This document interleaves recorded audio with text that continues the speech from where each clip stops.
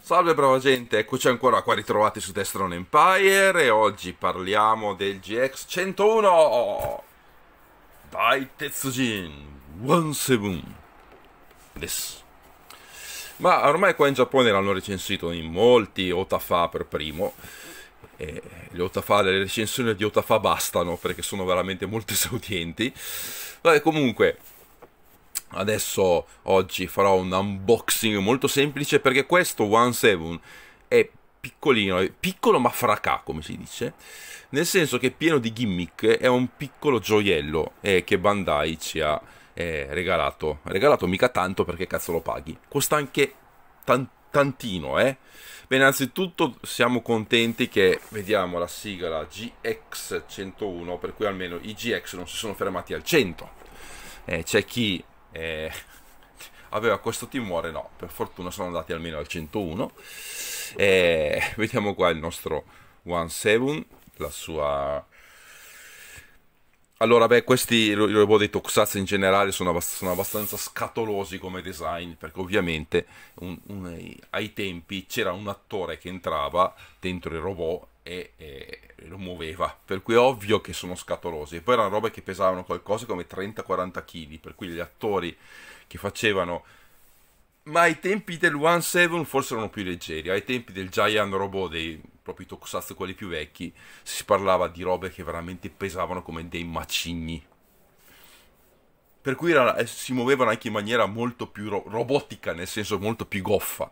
Andando avanti con gli anni, con gli anni probabilmente hanno alleggerito eh, questi particolari, mh, mm, non so come dirle, vestiti, mute, eccetera, dove gli, gli attori entravano, cioè, permettendo di fare movimenti più... Mh, mm, movimenti più liberi, ecco, eh, comunque. Eh, questo è, per, è perché questi, i robot dei Tokusatsu hanno livree così, se vogliamo, scatolose. A molti non piacciono, a me non dispiacciono. Poi vediamo qua, perché One 7 ha la um, peculiarità di avere due modalità, tre modalità, scusatemi. La prima è la base, e la seconda è la versione volante, la versione aereo che uno dice ma dov'è che è differente? No, è solamente la parte qua sopra. Come faccia a volare un affare simile? Non lo so, ma va bene, ma va bene. Non, non andiamo a, a, trovare il cavillo del nuovo. Se si dice così, adesso non mi ricordo. E comunque questo One 7 è veramente è piccolino, purtroppo è una cosa che hanno criticato abbastanza. La, doveva essere un filino più alto, eh, però è veramente un gioiello perché è pieno di gimmick e queste magari le vedremo nella mia prossima, nella recensione ufficiale, dove le provo un po' tutte, perché proprio brillano gli occhi, ha un sacco di mh, voci, suoni, eccetera, a differenza del drago spaziale, che era grande, grosso, ciula, no, beh, grande, grosso, c'ha l'autoparlante bello visibile sulle, sulle zampe, però ti fa solamente la sigla iniziale e quella finale questo no, è una cosa completamente diversa. Ha tutti i vari suoi mecha che essendo già piccolino lui eh, dovete stare attento che sono microscopici e, e che non finiscono nell'aspirapolvere. Ah, il mio Bazora del GX05 è spuntato fuori, per cui non è stato vittima dell'aspirapolvere. Io temevo, invece no, per fortuna.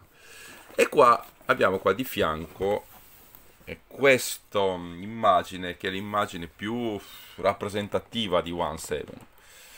One Seven è proprio mm, dice alzati One Seven è una delle frasi più famose della sigla di One Seven perché lui è sempre in versione base e qua è quando si trasforma in versione robot. Praticamente è inginocchiato se vogliamo si alza e non è niente di, di così difficile.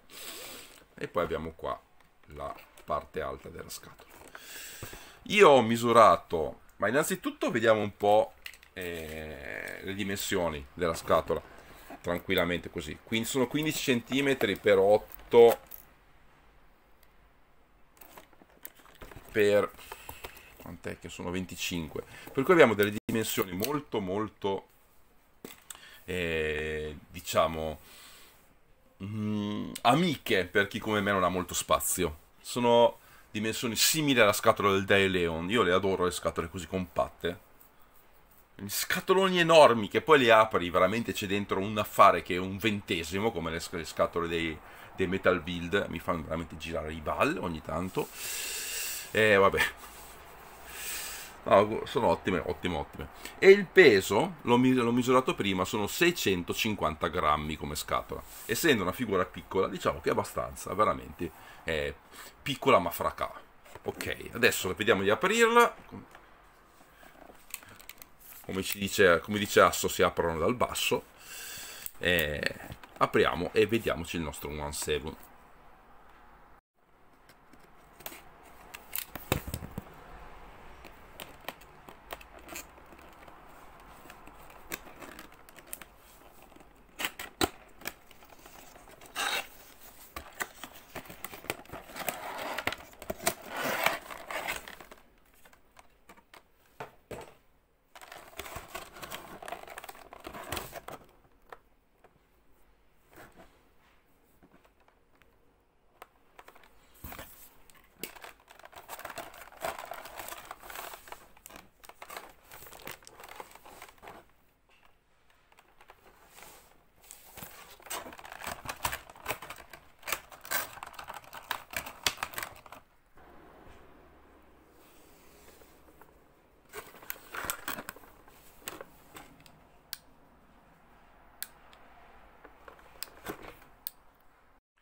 oh, abbiamo aperto il nostro One 7 innanzitutto come abbiamo visto prima abbiamo questi due blister che sono, non sono tenuti dallo scotch per fortuna ed è una grandissima figata questi blister di Bandai che non hanno bisogno di essere scocciati eh ragazzi ogni volta no, ogni volta lo devi riscocciare non finisce più per me. È una particolare così molto minuto ma a me fa molto piacere. Poi abbiamo questo volantino del One 8 pre-order now. One 8 come dice il giornalista l'uomo di latta. E costa 11.000 yen è in preordine. C'è un prezzo diciamo che ci ricorda molto i vecchi Chogokin quando non avevano ancora prezzi astronomici. Tra l'altro adesso col, con lo yen che sta crollando nei mercati internazionali eh, per chi vuole comprare roba giapponese adesso effettivamente è riesce a muoversi in maniera più facile che una volta. Anche specialmente quando il Giappone aprirà le porte ai turisti, sarà molto più facile viaggiare in Giappone e per i giapponesi invece è molto più difficile viaggiare all'estero. Infatti sento chi va alle Hawaii adesso, chi se, può, chi se lo può permettere. Eh, non sono mai stato alle Hawaii, ma devo dire che non me ne frega, me ne frega neanche più di tanto. Vabbè, lasciamo perdere. E comunque, cioè, spendi un sacco di soldi, cioè, non ho mai visto una, una una vita così cara, ma per la semplice ragione che lo yen è crollato, ecco. Vabbè, questo è il One 8 e tra l'altro a proposito del One 8 ho chiesto a un mio amico, gli faccio, ma quanto venderà? Io l'ho ordinato, ma quanto venderà? Fa, no, no, il One 8 è fuori dal Giappone, specialmente a Hong Kong, è molto popolare. Ma come molto popolare? Sì, perché nelle, nella vecchia Hong Kong, dove c'erano, anche penso addirittura prima che tornasse la Cina, dove c'erano proprio i i mm, negozi clandestini, dove, le fabbriche clandestine dove si facevano loro, eh, come i Transformer third party adesso, no? I, i giocattoli senza licenza, ce n'era una pletora di One 8 e c'era anche addirittura i Jumbo Machine di One 8 perché le, la gente di Hong Kong ha, un debole per la storia eh, dei fratelli, specialmente dei robot fratelli, eccetera. Anche Kyodain è molto famoso a Hong Kong e anche questo One 8 che è il eh, fratello di One 7 è molto molto popolare, molto amato a Hong Kong. Per cui venderà tantissimo lì probabilmente. Ecco, scusatemi l'intermezzo. E poi abbiamo il nostro libretto di istruzioni più eh, libretto spiegativo di eh, cos'è One 7 One 7 in Giappone è abbastanza famoso, ha una visione di spiegazioni. È un robot che viene pilotato da un pirla con la cravatta per cui è abbastanza famoso Scusate, io, io odio le cravatte. Apriamo il disegno. Eh, qua sotto eh, dei, dei, vecchi giocattoli, vediamo anche. E questo scene, scese prese dal telefilm. One 7 in, in versione robot, volante in versione base. Con in versione base vedete che da, da, da, dai, dai piedi, dai piedoni, piedone africano, escono i, i vari mecha Eh, io li, li, adoro, li adoro queste immagini qua, cacchio. Quella con 17, scusatemi, nella base, le illustrazioni dei vecchi giocattoli a me fanno impazzire. Si combatte con questo robot nemico che c'è uno scaldabagni in testa. Scaldabagnus F2. Poi vediamo qua così. Bellissimo con anche questo che sembra il Cosmo Roller del Diaclone. E poi passiamo, e dalla metà, proprio giustamente dalla metà, perché qua abbiamo le graffette, in poi diventa un libretto delle istruzioni a colori, eh, abbastanza comprensibile, che ti spiega tutte le varie gimmick, ne ha molte, e come, pot come poterlo fare trasformare. Qua mi ricorda molto la trasformazione dei Seekers, dei, dei Jetteron, dei Masterpiece Transformer, quelli vecchi. Adesso non so come si trasforma quello nuovo, lo sta Scream nuovo, perché non ce l'ho e non mi interessa neanche. Ok così. Bene bene. Poi questo magari lo vediamo eh, nella recensione più avanti che farò. E adesso passiamo a vedere il nostro eh, One 7 e magari a confrontarlo anche con Dai Leon ok adesso abbiamo aperto la scatola tirato fuori i nostri mecha e vediamo per prima cosa i nostri eh, eh, come si chiama sub mecha e le parti che troviamo dentro la scatola. Abbiamo solamente altre due mani, che sono due mani aperte, mentre le mani che ha One Seven dentro la scatola sono due pugni e basta, per cui non ha armi, non ha nient'altro, su quello è abbastanza molto semplice. Poi abbiamo quattro mini mecha, che sono la Sub Machine in due versioni, la versione eh, automobile, che è questa.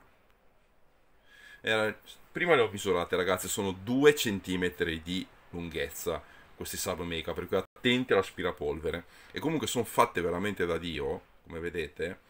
C'è proprio il design anni, fine anni 70, inizio anni 80, che a me fanno impazzire questo design qua. E questa è la versione della um, Sub Machine, la versione volante, tipo aereo, aereo elicottero. Veramente bellissime. Solamente dico, cacchio Bandai, un attimino più grosse. Se facevano tutto un filino più grosso, magari questo non erano 2 cm, erano magari 3 uno se le poteva godere un, un, secondo anche di più. Poi lo Sigcon eh, Jet. Questo veramente anni 70 anche fine anni 60 se vogliamo come design. E poi è bellissimo. Il Sigcon Tank che forse è il mini mega che mi piace di più col suo bel trivellone veramente da anni 60 tipo Thunderbird o comunque anni eh, anime degli anni 70, bellissimo. E poi abbiamo la nostra unità, il cuore di One 7, che è il Graviton Unit. Con dentro abbiamo dentro tre pile, sono già dentro. E se uno tira fuori qua il, il come si chiama, l'affare qua isolante, può godersi tutte le gimmick, che sono molto complesse. Poi magari farò una, ripeto, faccio un video apposta solamente per questo. Ok, andiamo a tirare fuori il nostro One 7 adesso ed ecco qua il protagonista di oggi, One Seven. Eh, c'è solamente lui, quel pirla con la cravatta che lo pilota non c'è, per fortuna.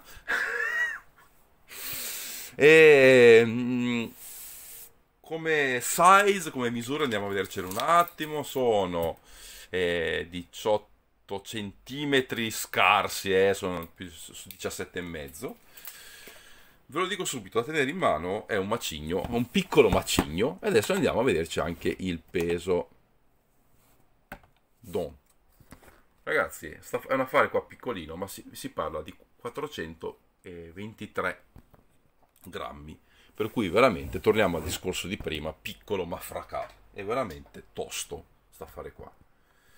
Adesso, vediamo un po' lo sculpt qua da vicino. Quando lo tirate fuori dalla scatola la, la, testa non è aperta, per cui gli occhi sono chiusi. Dovete tirarla su così, è semplicissimo, e qua si aprirà la visiera per vedere, far vedere gli occhi di One Seven, che un, sono una specie di computer che brilla, fa dei movimenti strani, ma molto particolare come, come sculpt del viso, come robot. E, e poi abbiamo la nostra scritta bella grossa One Seven, eccetera, eccetera.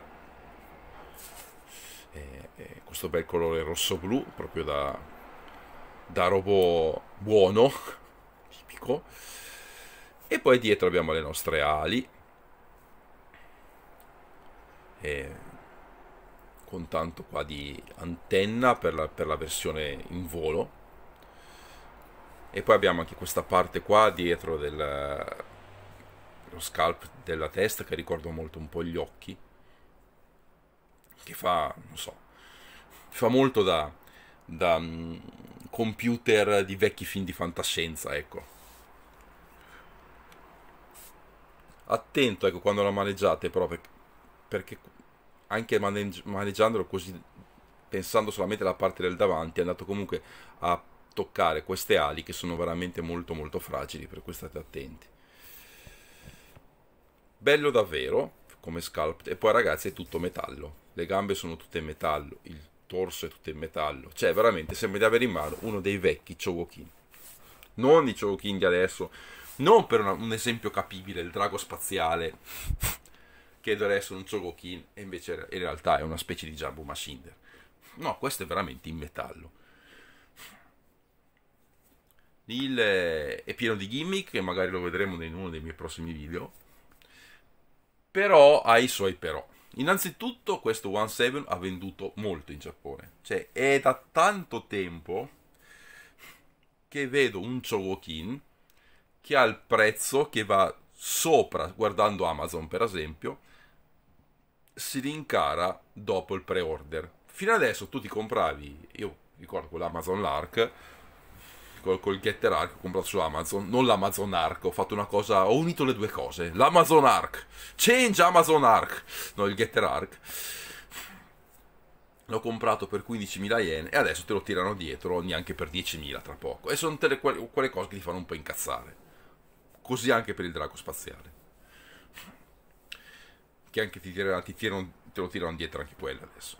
Qua invece no, perché l'ho pagato sui 16.000, 17.000 yen, adesso è ancora più caro, stiamo andando anche sui 20.000 yen, che se vogliamo come prezzo è un po' altino per un eh, robot di queste dimensioni, però sta vendendo, per fortuna, ecco. Benissimo. Eh, adesso guardiamo un po' le, le, i movimenti, le giunture di questo One 7 e che sono veramente la sua nota dolente. Se uno pensa di eh, fargli fare un po' di pose plastiche, eh, smanettarselo un po', eccetera, gli dico subito, non è il robot che fa per te. Perché? Perché ha delle range di movimento veramente molto molto limitate. Innanzitutto se voi guardate qua le spalle nelle cose delle illustrazioni, delle, delle istruzioni, vedete qua, che ci sta, state attenti qua per quanto riguarda le spalle. Allora, i movimenti del braccio ha delle mm, ratchet dentro molto, molto solidi, sentite anche il rumore. Come gomito 90 gradi, anzi può anche muoversi all'indietro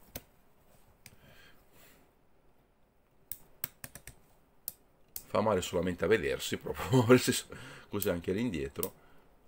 Il problema è che aprire le spalle è praticamente impossibile. Potete, però diventa veramente un po' un macello. E poi c'è scritto lì, attenzione, che a non graffiarlo. Probabilmente c'è il modo adesso no, di tirarlo fuori di più qua, però adesso non sto più di tanto a farlo c'è sicuramente il, di, il, modo di tirarlo fuori di più, ma non... è, è, è brutto perché la spalla qua e il corpo cozzano e la, le spalle essendo in plastica rischiate di far partire la verniciatura qua. Per quanto riguarda le gambe, le gambe sono un'altra nota dolente. Perché sono una nota dolente? Perché vabbè, eh, si muove, perché poi si trasforma in base, per cui si muove bene, così. Non abbiamo un range di movimento discreto anche qua avanti. Il problema grosso è che se uno vuole fargli prendere una, una posa non da giocattolo di 20-30 anni fa, ma un po' più moderna, un po' più naturale, dovrebbe aprire le gambe, ma può farlo solamente così. Cioè, non abbiamo scatti alternativi. E questa secondo me è una cosa veramente brutta, perché scatti così bruschi, insomma, per un affare che comunque costa, avrei preferito uno scatto in mezzo anche. Cosa che purtroppo non c'è. Ovviamente il torso qua non si muove, avrei preferito uno scatto in mezzo. Uno scatto in mezzo non esiste. Per questo, se volete aprirgli un po' le gambe per fare una, una posa più plastica, diventa così. E non la trovo una cosa molto bella. Specialmente per un Toys che ha i prezzi. Questo One 7. Poi potete anche tirare un po' fuori i piedi così. Le caviglie si ruotano un po'. Però, ripeto, insomma, non è, non è bellissima come posa. L'unica cosa sarebbe di rimettere con le gambe praticamente o tenerlo così, ma però viene un po'... o se no chiudigli le gambe e cercare di ruotare quale qua le, le gambe così e non so. Ripeto, per quanto riguarda la posabilità, è una nota dolente di questo One 7 e su questo va detto. Alla fine, adesso che ripeto, ha le gambe, ha i piedi tirati un po' in fuori, per cui adesso dovrebbe essere un centimetro quasi più alto, proviamo a confrontarlo con l'altro capolavoro dei Tokusatsu che a me piace di più, devo essere sincero, e cioè il Daileon. Gian. E questo è il nostro Daileon. Vedete che il Daileon comunque è più grosso, un attimino di più di questo One 7. Come colorazione, come sculpt, è veramente questione di gusti. Io preferisco di gran lunga il Daileon, che a me fa impazzire, però sono fatti tutti e due bene. E il One 7 uno se lo deve godere per le gimmick, che hanno dentro veramente un casino. Per quanto riguarda il Daileon, no, se lo gode per lo scalp.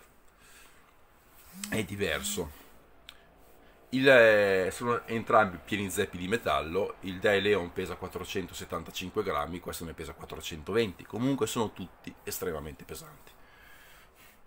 Eh, che dire, la prima, questa recensione direi che finisce qua.